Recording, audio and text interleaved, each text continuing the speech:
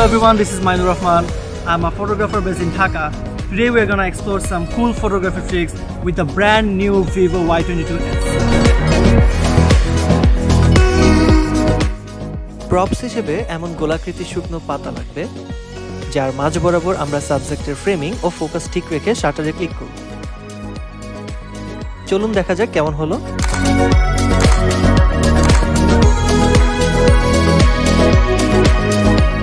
We need to simply arrange the setup by making the umbrella full of leaves inside and we shot multiple texts.